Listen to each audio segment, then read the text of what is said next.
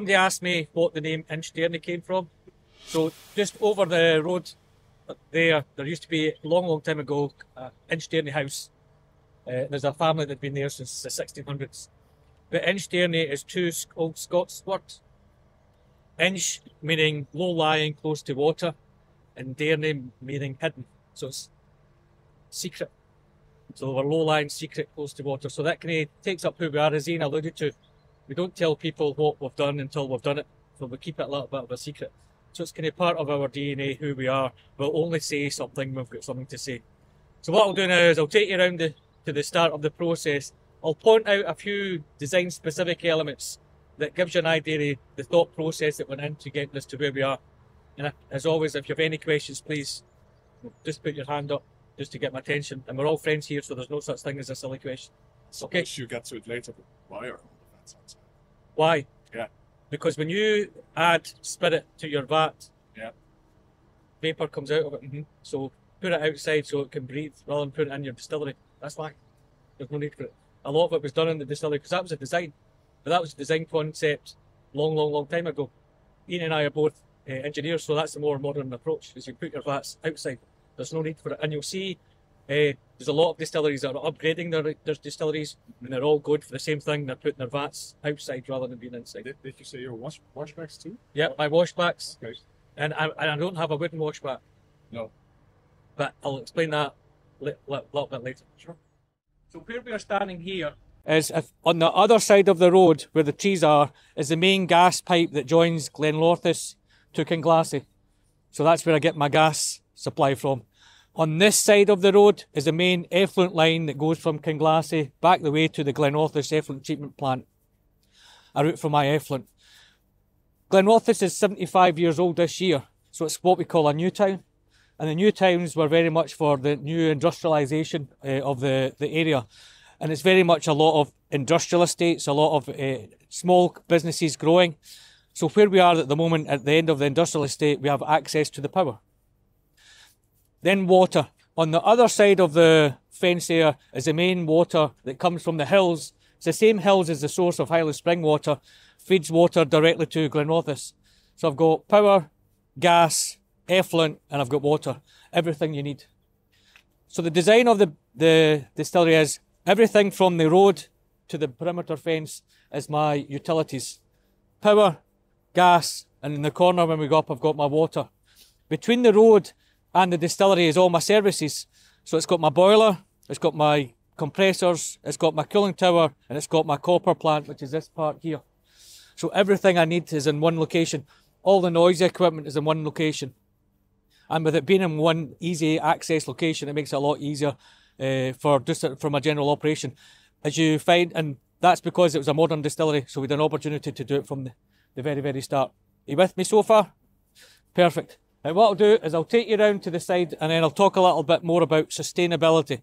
Uh, because for any distillery no, from the, the whiskey industry, we are very much aware of our uh, duty of care for what we are doing in the environment that we're within. And a lot of that is about our sustainability. So a lot of work has gone into where we are at this moment in time. But I'll explain a little bit up the top because it's easier for you to visualise. Okay? So a few years ago, we, we got a consultant to carry out a carbon footprint analysis of us to understand what is the sources of our carbon. So from that, we identified that 5% of our carbon come, came from our electricity. So we switched right away to a green provider. That's easy bit. The next one is 35% of our energy, uh, carbon footprint was coming from the burning of the gas from the boiler. That's my boiler there. You can see the vent thing coming out. At this moment in time, I have a capacity of the distillery of 2 million litres. This whole concept was designed to have four. So later this year, I'll be putting in new stills and be running with a capacity of 4 million litres. In order to do that, I need a bigger boiler. So rather than putting another boiler in, the one I've got now is 3 tonnes. Rather than putting another 3 tonnes in, I'm going to put in a 6 tonne boiler. But for this boiler, I'm going to get it so that it's hydrogen ready. What that means it will be once we get hydrogen to site, it can run on hydrogen. The hydrogen to produce hydrogen, you can do electrolysis of water. We need quite a lot of uh, energy for it. So we are working with a main provider who have lots of wind turbines, so they're creating green electricity. They'll use that green electricity to convert water into hydrogen. We will get the hydrogen delivered to site, and where that embankment is behind me, we will cut into it, and it'll be wide enough to hold three road tankers. Now you think a road tanker is quite a big. I mean, it's got a volume for a spirit tanker can hold 30,000 litres in a tanker. A tanker of hydrogen will store four tons because the tanker is pressurised to 350 bar in order to liquefy the hydrogen. And I will use one of them every single day. So that's not going to come along until 2025, 2026. But we're making an investment in the new boiler now to make sure that it's available going forward. So it'll run in gas now, but once we have the opportunity to switch, we'll switch. Like every other distillery, we have co-products of pot ale and draff. Originally, we did have those. The draff went to local farmers, and the pot ale did get spread for a little bit, but that needs a lot of management. We then sent the, the pot ale to an anaerobic digestion plant in Falkirk and Grangemouth area. But since last year, we I don't know which road you came up. Did you come up the Cluny Clays road, the big road at the bottom there? Maybe not. But over there is a farm, and the farm has an anaerobic digestion plant. So all my pot ale and draff goes to them. They'll convert that into biogas. The biogas is fed into the same gas main that I take my connection from, and I will take the gas. We did look at taking biogas straight from them, but the tariffs that they currently get for putting it into the main gas meant it just become cost prohibitive. Hence the reason why we've gone to hydrogen, because it's the only way forward. Ian started speaking about Fife Provenance. When you look at our carbon footprint, about 65% of what we produce from a carbon footprint point of view is the malt and the farming of the barley. They are 50-50 responsible for it. We work with Muntons, which is a fairly small, purely with Muntons. They're a small family-owned business, but they're doing a lot in how they can reduce their footprint. But then we come to the barley. So the barley, they say it's got a large carbon footprint. What happens is when you plough a field, all the nitrogen that you put in in the form of the fertilizer comes out as nitrous. And that has the same equivalent of about 250 times the, the greenhouse effect is carbon dioxide. So a small improvement on that will have a big reduction in our carbon footprint.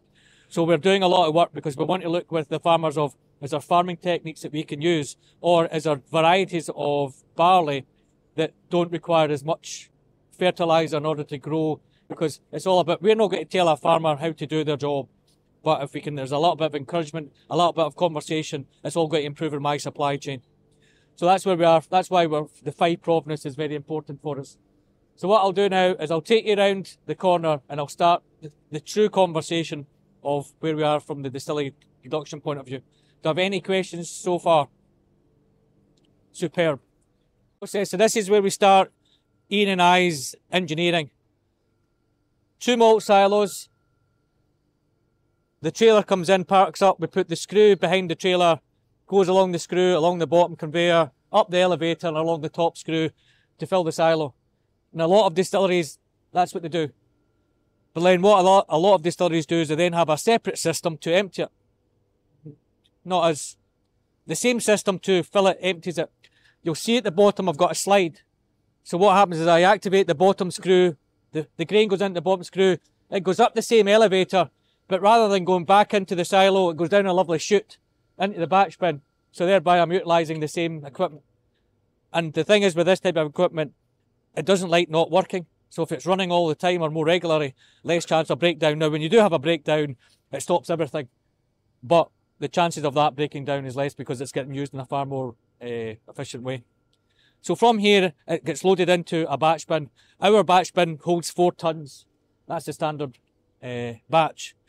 And that's about as common as we we have at the starting process because rather than going into a roller mill, we then go into a hammer mill. So what I'll do is I'll take you next door to show you our hammer mill and talk a little bit about what impact that has on the grist. Okay, this is where I'm hoping to get some at least one question. So I've got faith in you that you will ask a question. Please, please, please ask a question because if you don't ask a question, I think that I'm either not explaining enough or I'm boring you. So I don't want it to be either of them. So come this way. So everybody, I'm assuming, has seen grist. If you haven't seen grist, please put your hand up. So this is grist from a traditional distillery using a roller mill.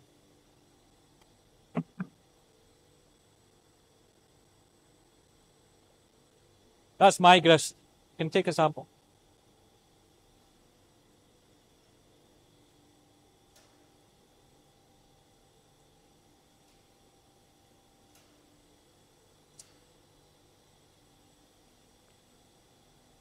Don't worry, I'll give you a bucket to put it back in.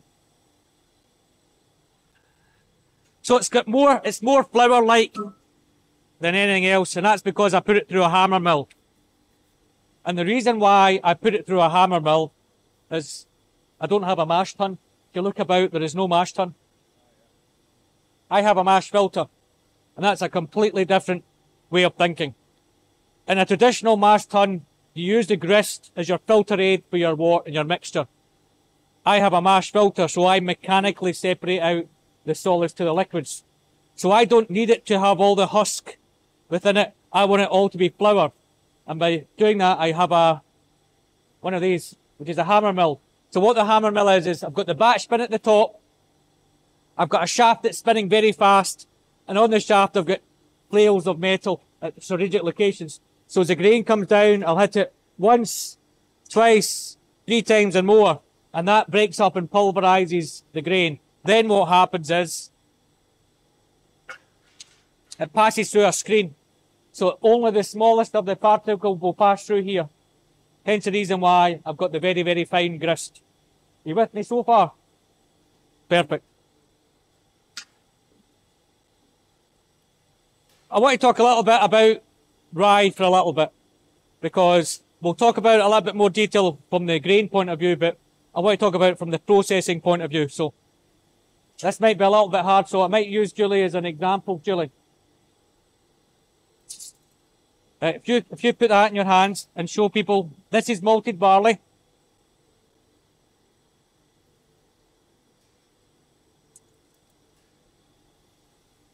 You want to see some? This is rye. Look, it's a it's a lot smaller grain.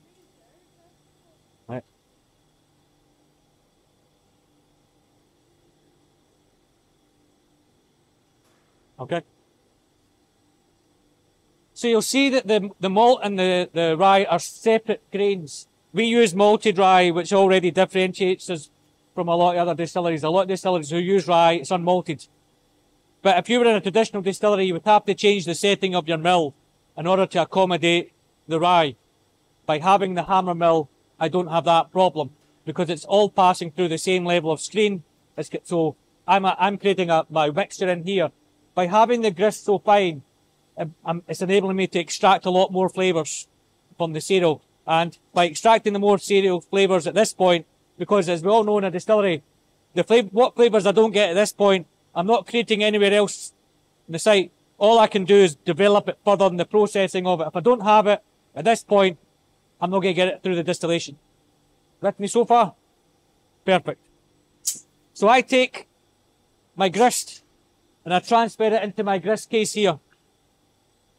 From there, I transfer it up my elevator to the first stage of my fermentation, my, my mashing process. This is my mash conversion vessel. In a traditional distillery, you would, you would mix the grist with the water in your mash tun and you convert all your starch into sugars. I do it in a mash conversion vessel, which is just a big tank and a mixer in the bottom. But what makes it different is it's got steam coil on the outside of it. Rye specifically has a high level of beta glucans in it, but it also has beta glucanase enzyme within the corn. The problem being is that gets denatured above 50 degrees. So if you're in a traditional distillery, you're mashing in to get your sarification of your starch first and foremost. So if you go in at your 64, 63 and a half degrees, you denature the very enzyme that you can use to break down your beta glucans. And what that will do is during your mashing process, it will hold on to the liquid. Your wort will not get out. The examples I've been given when I've been speaking to other distilleries who have tried rye is that they would normally get a mash done in about five hours. For some of them, the mashes got stuck and it took them like 30 hours to drain it out. With having the mash conversion vessel, I go in at 45 degrees I will slowly heat it up to 64 degrees. And during that heating cycle, I'm getting the beta glucanase being activated, breaking down the beta glucans. I then get all the wonderful work of the amylase uh, enzymes, uh, the the enzymes to break down the starch into the various sugars to get to 64 degrees. I will then hold it for about an hour, and that just ensures I've got all the heat transfer, getting all that conversion taking place. I then do a small increase to temperature to 70 degrees. That is the transfer. That just reduces the viscosity of the mixture enough to enable me to transfer it through my mash filter. Are you with me so far? Superb. What we'll do now is I'm going to take you upstairs and I'm going to show you the samples of my mash, my draff, my wort, and my wash, just so you can start to get an understanding of the flavours. I have a question. Did I understand you correctly that you don't have to adjust the mill for different kinds of mm-hmm. No, we, we adjust the mill for other reasons, but for tra- transitioning to other grains, we don't have to. And here we've used it for malted barley, we've done it with wheat, with oats, and with rye. Each time the system has been adequate and capable of doing it. And that's the, the beauty of having a hammer mill. It doesn't matter the grain type, it will cope with it. Whereas with a roller mill, yeah, there's a lot more work required to get it to operate. But for the hammer mill, hammer mill is a good friend of a distillery manager because I know it's capable of processing most grains. Does a hammer mill only make sense if you have a mash filter, or does it make sense if you have a Well, if you have a mash tun, your your grist would be so fine it would go straight through the, the perforated plates. It only works if you've got a mechanical means of separating it. So by having this enables me to have this, which enables me to process this. Again, first aim, material. We want to be changing different materials, and I can only do that if I've got the methodology that's capable of doing it. So this is the engineering solution to be able to process all these different grains. For the grains, do you always keep them separate or do you combine them with the grist? I keep them separate in the silos, but I weigh them and mix them together in the batch bin. I do a mash bill as a mixed grain mash bill. So it's about 53% rye, 47% the malt. That gets mixed in here. It'll mill and be mixed here, and then it'll ultimately be mixed in there. We keep, no, it's a mixture from the start. Any experiment with just rye as well? Uh, well, we've done oats. Uh, I've done wheat as well. Again, get, giving, get, look, we're, we're, we have a quest for flavour. We want to understand what does that bring to the table. So the three that I gave there, the rye, the wheat, and the oats is a great example. Because what I did was with the rye, I changed the rye component with wheat, exact same percentages, produced a liquid. The same with the oats, the exact same mash bill with only oats and the malted barley. So then I'm looking and understanding the impact and influence the grain has on the flavour of the spirit. So this is a mash conversion vessel. The grist comes straight down, and this in here is where we add the water.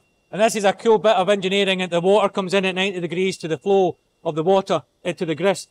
And what happens is it spins, and it takes out the energy, and it falls down exactly with it. So I get perfect mixing as it goes into the mash conversion vessel. So it's in the mash conversion vessel for about an hour and a half doing the heating cycle. Once it's finished, the resulting mixture is like porridge. Now, a lot of people, you say it's like porridge and everybody goes, but I know a lot of people are going, what does he mean? So I've got a sample. Here.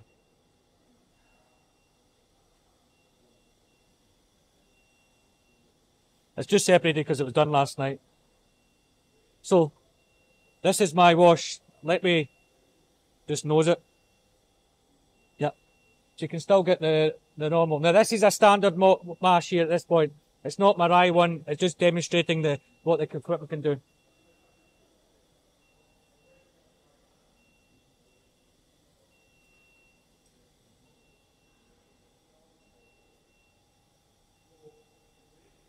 That's- Hmm, good.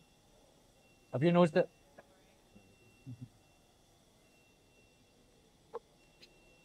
So that's my mash. So once it's all been converted, I want to separate out the solids from the liquids. Okay? If you want to stand at that side, I'll explain this next bit. So what I do is I pump this mixture here through this plate. And you'll see I've got a series of plates. You'll, you'll maybe notice I've got a thick plate and a thin plate. Thick, thin, thick, thin. Okay?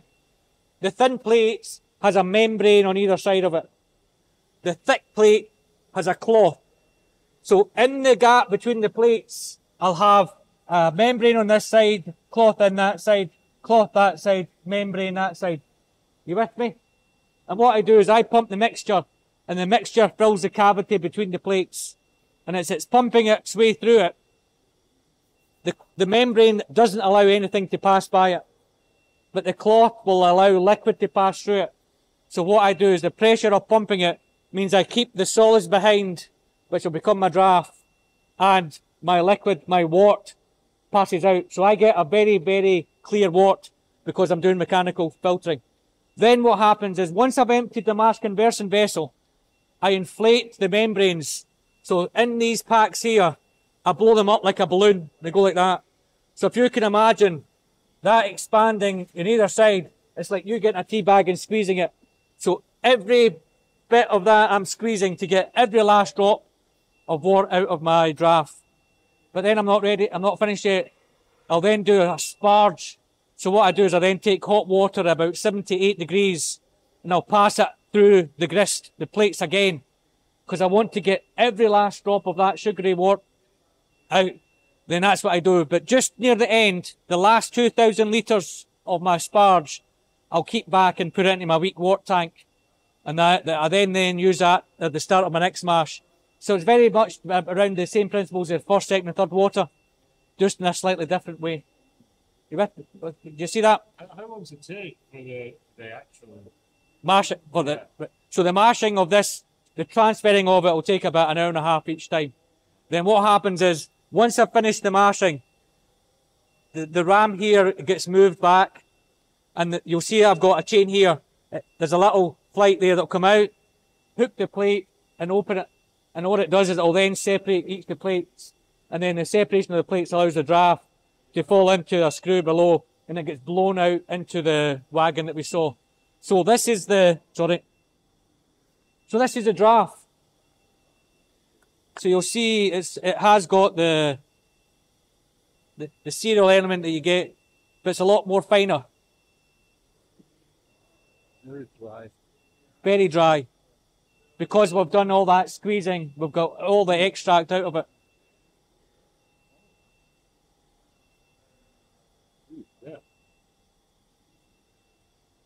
Almost like sawdust. Yes.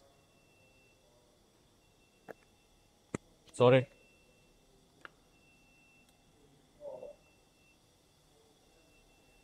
Let me just check this. It was taken last night. Yep. So this is my wort.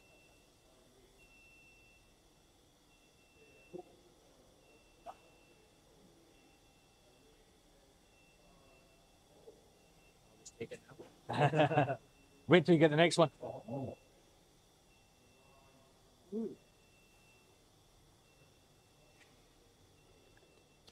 So what I do from here is I've got my wonderful sugary wort. So I put it to my washback. I have got four washbacks that are 80,000 litres in capacity. For the ma- a single mash of four tons of the cereal will give me about 17,000 litres of wort. But I don't do 17,000 litres into a washback.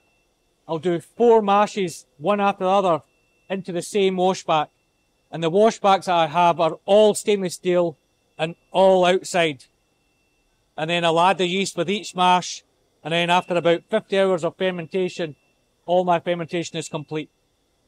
The sugary wort is of a higher original gravity as a normal distillery. A lot of distilleries are looking for about 1060 of their, I'm looking for 1070 to 1075. By having the mash filter, I can get a far more concentrated wort. By having more sugars means I can get more flavors. Question. Is the mash filter more efficient in terms of time than standard It's, tons? from a time point of view, it, there was a lot of theory that it was only more efficient with regards to extract. But over the years, farmers and maltsters have been very good to distillers in producing fantastic quality. Where the mash filter comes in its own is if you're brewing different grains or you have a problematic barley, it will process it, whereas a traditional mash tun won't. mash, fil- mash filters are more expensive and more complicated to run. So you won't see manual guys doing one of these because it takes a computer to think of the brains. But where you get the benefit is if you're different grains and it gives me the flexibility that I, I'm looking for. So once it's out the in the washback for a minimum of 50 hours, that doesn't mean I don't go above that. I do. But for the bulk of it, it was a minimum of 50 hours. I get my wash. And my wash is at about 10% to 10.5% alcohol. So this is just the wash that we're taking from last night. I want to talk about the distillery. We talk about material and method. So one of the methods for the, for the rye, I'll give you an example. We have the, the, the mash bill is malted barley, malted rye. We put it through the mash filter. I then add a, a yeast specifically to the rye. But I want to expand on the other Inchdairnie brand products. We're doing a single malt, but we don't do this, do it like anyone else. We do four seasons. So I do a spring, a summer, a win- an autumn, a winter campaign. The spring and summer I use spring barley. I will mash it like Kier, but I will use a different yeast. I will put it into the washbacks, and because of uh, the outside conditions, will have an influence on the fermentation. So the spring and summer uses my spring barley. My autumn and winter uses winter barley. And the winter barley gives me far more, and it gives me an increase in turbidity of the wort. So I've got a lot more of the malt notes coming through. I then use different yeasts for them as well. So my spring and summer are quite light and delicate. My autumn and winter are very hard and robust. I have four different styles of spirit covering the four seasons using a combination of the mash filter and yeast because yeast is one of the processes and a lot of distilleries have only been using standard distiller's yeast. But in the last probably five, six years, distillers are starting to experiment a little bit more, thinking, you know what? Yeast creates the flavour in the fermentation. Let's look at different flavours in the fermentation. So that's what they've been looking for. And that's been part of our DNA from the very beginning. We like to call it as one of the levers that we want to pull. So after the fermentation and the washback, we're ready to do the distillation. So what I'm doing, now that the distillation is off, unfortunately you'll not see it coming into the safe. We're going to go back here and I'll show you the distillation. Okay? So everybody knows the principle of distillation is to take the alcohol we have in the fermenta- after fermentation and concentrate it. And we use that in the basic principle of that alcohol and water have different boiling points. So a traditional distillery, we have like everybody else two stills, a wash still and a spirit still, same as before. But we start to use a little bit more engineering. A normal traditional distillery, the stills would have internal coils. I don't have internal coils. I've got an internal external heat exchanger. And this is where I'm going to be a little bit scientific. If I get too scientific, let me know. So bear with me. Directly above me is a steam pipe about 8 bar pressure. It, goes into the heat exchanger, it cools down and becomes condensate. So it's doing that. I take the contents of my still, pass it through the heat exchanger and bring it back in. So I'm doing that all the time. And all I'm doing in here is transferring the energy, heat from the steam into the wash, which allows the wash to then boil. You with me so far? Right. So, boiling my still, vapor passes up the lye. Okay, swan neck into the lye pipe to the first of my two condensers. So this is where we start to differentiate. I don't have one condenser, I have two. So the first one, can you remember what I said about what happens to the steam? When you cool down steam, it makes condensate. So I take that condensate, which is cooled steam, and I put it up to the top. Who, who all stayed in the Dakota last night? The, wonderful showers that feels like you're standing in rain. That's what's up the top. So up the top, I've got that shower effect. This is a shell and tube heat exchanger.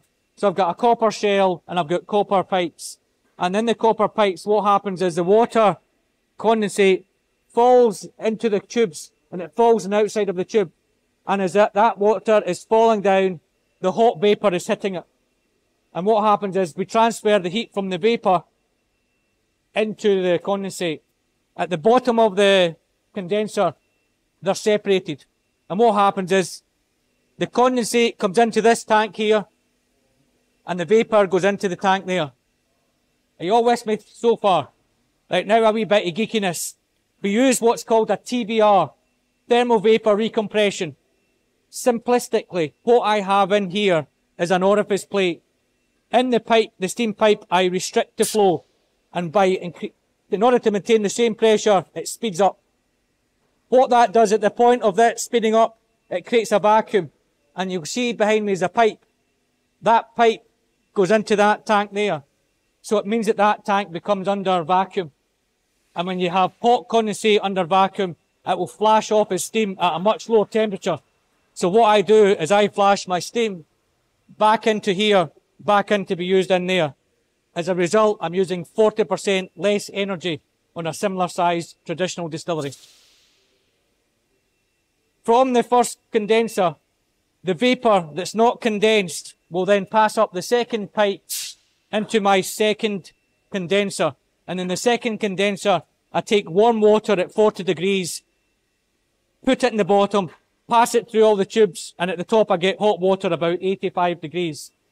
So the distillery, the distillery takes warm water and creates hot water. The mashing process takes that hot water and makes warm water. So we get a balance in the process. You with me so far? We do the exact same with the spirit stills. So with the spirit stills, the exact same. And what we do is we control the various cut points. So as I explained over by, we do Inchdairnie four seasons. Okay. I then do rye. Thank you. I then do rye, so that's my five. I then also do Kinlaws, which is my experimental where I do something different every year. So that's me got six. I then do a peated product that we call Kinglassie. That's for me, seven. I then do a peated product called Finglassie, which I then exchange and sell to others. I then do Strathenry, which is my blending malt. I do exchanges to either third party customers or our strategic partner MacDuff. And what that does is enables me to do exchanges for grain and for malt. It means then I've got a portfolio of grains and malts that I blend together to create the products for MacDuff International. So in a distillery, I do nine different styles of spirit, and each one of them is slightly, subtly more different. What do you use the Lomond still for? I'll come to that, Mark. You're, you're jumping the gun. You're too enthusiastic. Right, so what we've got here is this is the heads of a standard. Oh, I already poured it. That's the heads of the standard Strathenry. So Strathenry is a standard malt I produce it is about 70% of my entire capacity is Strathenry. And it just is exchanged or ex- with, uh, sold to other people. That's the heads. So that there is the spirit. That's the heart of the spirit. That's Strathenry.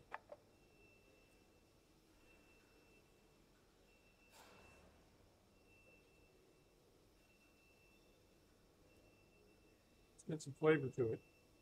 Yeah, you- I'd like to see what you, you think of it, uh, Mike. We were talking about that multi fruitiness. And then just because I, I want people to know, we talk a lot about faints, but people say, well, what's faints? Unless you really know what faints like. So what I've got here, I've got faints. And what we have in the distillery here is I don't separate out my liquids. The only one I separate out is my spirit cup, my heart, and my ISR. Thank you. Everything else, so in my faints tank, I will collect my low wines, my head, and my tails from the spirit stilled, mix them together in the same vat, and then that's what's used to charge the spirit still. I don't keep them separate, I keep them together. Again, that's adding to the complexity. Rather than keeping it all, also it means I don't need to have as many vats. I don't need to separate them, I'm going to be used to be using them. So Mark then said, what about my third still? What do you think, Mike? Cyrano is more present, and Uh, Evie, we'll come to that later on with that one. So we use these two stills for most of my spirit. The only one I don't do, thank you, is for the RyeLaw. I use my Lomond still, which we'll go to next.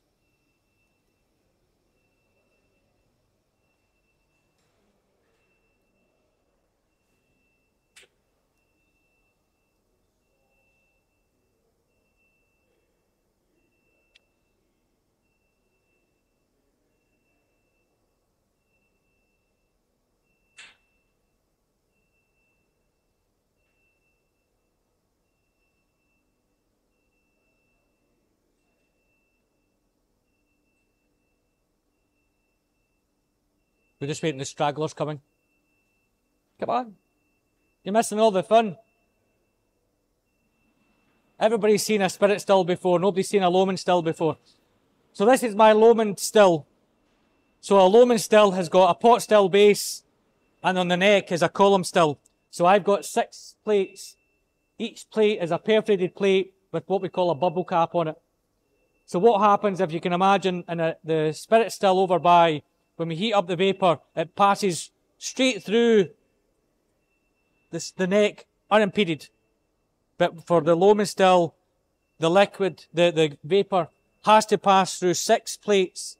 And what happens is on some of the plates, it will condense and fall back down as a liquid. So it's only the lightest of spirit that gets to the very top. And that's what adds to the character of the rye. The rye is not a very heavy, heavy spirit that you might get for an American or Canadian rye. It's very much our way of doing it, if that makes sense. This is, we, we wanted to have a flavoursome liquid that wasn't overpowering. You still get that want the spice, but not some of the other ones. We also want the lovely maltiness that we have in malt. So the best analogy I can give you is if you have a standard malt whiskey here, a Canadian American rye here, I'm in the middle. That's what I'm looking for. That's the question I have for you all, all this afternoon when we get to taste it. Okay? What we'll do is I'll go downstairs. I'll show you and explain a little bit the yeast, but I will also, I've got a working replica of what this does downstairs. So it'll he- help you visualize what it's doing. Upstairs, I, I spoke about that we add yeast to the wort that goes into my fermenters that are out back. So this is normal liquid distiller's yeast. Got lovely fruitiness to it.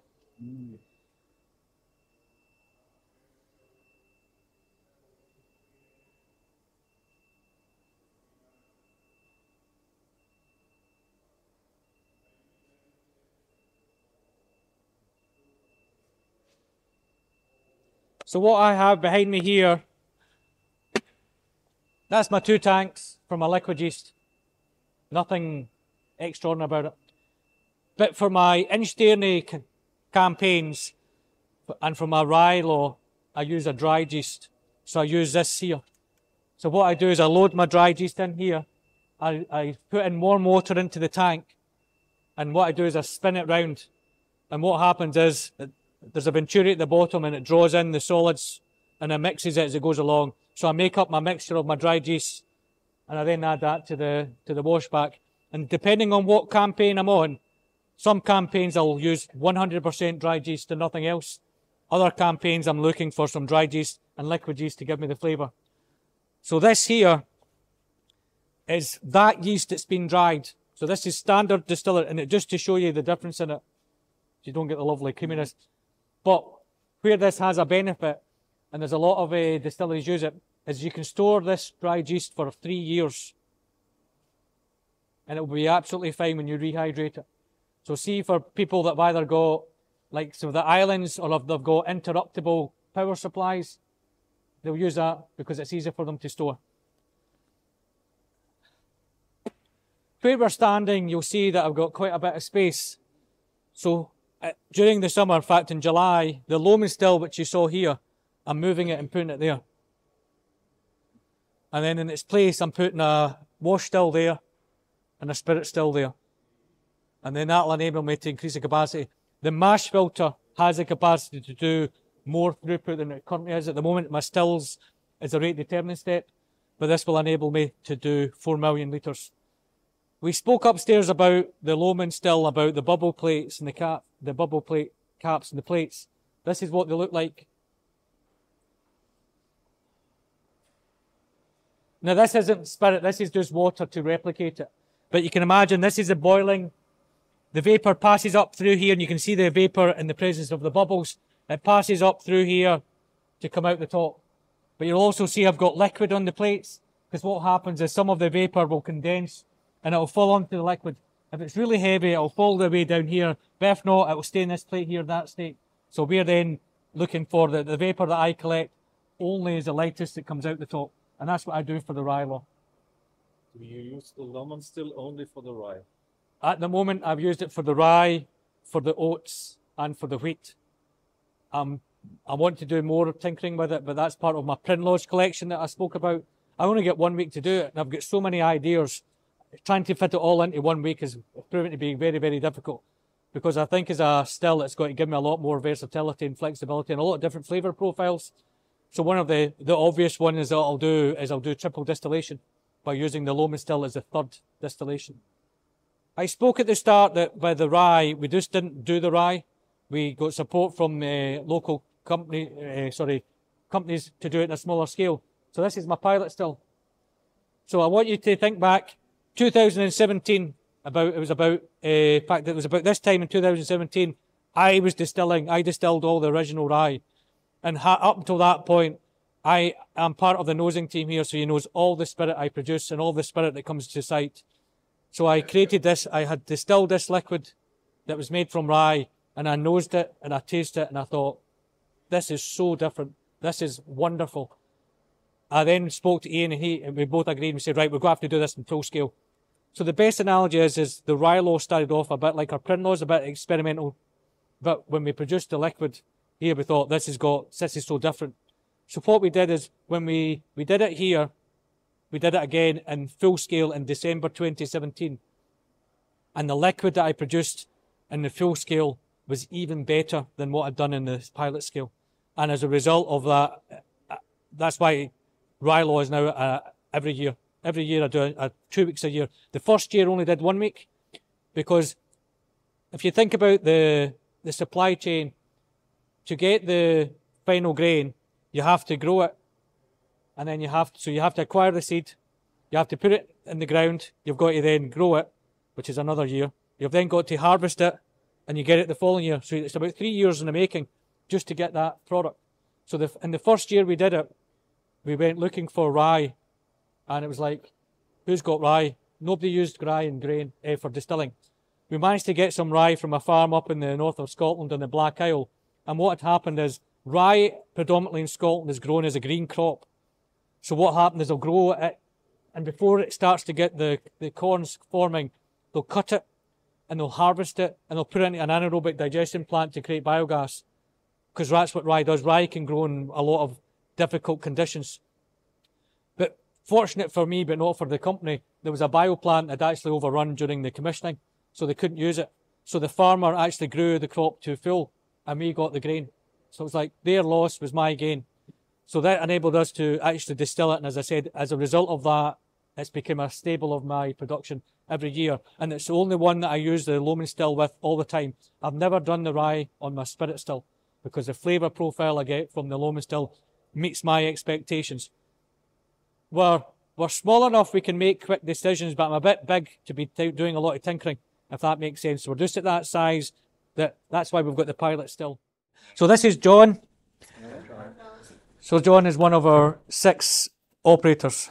So when Ian and I were recruiting for the distillery, uh, Glenrothes had a paper mill called Tullis Russell, and it went into administration in the, the March. So Ian and I had a, an opportunity to recruit people. We chose not to go for people that had whisky making experience. We chose people that had the right mindset and behaviour. So we recruited John, and uh, as a result, the initial five operators were all Tullis Russell. A lot of people ask us, well, why did you do that? I can train an operator to understand distillation and mashing and everything else, but if they don't have the right mindset and behaviour for what we are trying to do here, that's even more difficult. Also, if you to come from another distillery, they would have this predisposition or uh, a pre mindset that I produce one spirit and only one spirit.